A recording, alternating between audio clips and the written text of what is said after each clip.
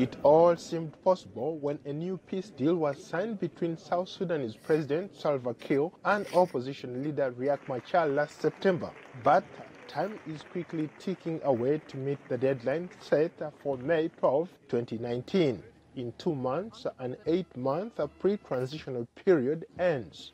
Under the terms of the peace deal, the government and opposition are supposed to implement the agreement and form a transitional government or risk yet another unraveling.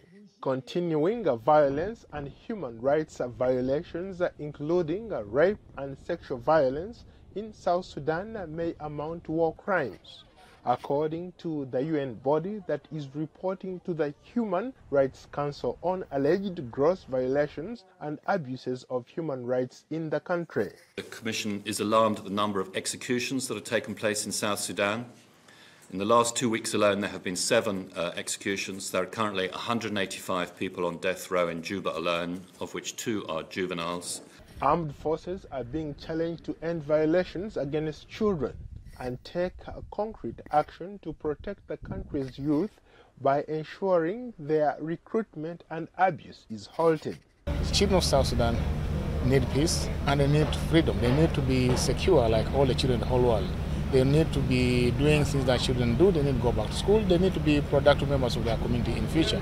And that cannot be done in, within conflict, and that can be done if they are part of the armed forces. The South Sudanese government denies those allegations and is pledging its full support to ensure that the children are protected. There is a standing command order to all the field commanders to report any illegal recruitment of children to the army. The Department of Child Protection under Assistant Chief of Defense Forces for Moral Orientation, has conducted numerous workshops in the divisions and units how to discourage children joining the army and how to identify children and report them to the nearest civil authorities. Rape and sexual violence against women and girls as young as eight is unfortunately still widespread in the country, according to a UN investigation published in February by the UN mission in South Sudan.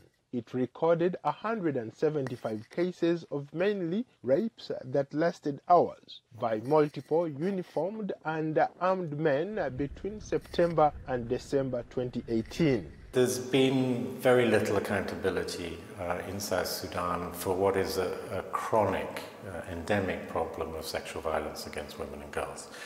Virtually complete impunity over the years.